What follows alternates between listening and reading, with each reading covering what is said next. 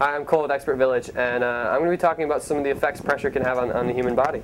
Uh, water, like everything else, has weight, and that weight causes it to exert pressure on objects within the water. Um, now, most of our bodies are made out of water, so unaffected. However, we do have airspace. Most common one uh, that people actually feel the pressure in is their ears.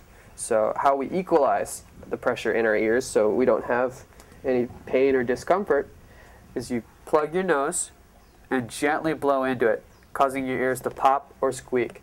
Um, I don't. You, you don't want to be like plugging it and forcefully blowing really hard because you can cause ear damage. You just want to gently blow into it. Um, that's the way you want to equalize your ears and compensate for the pressure.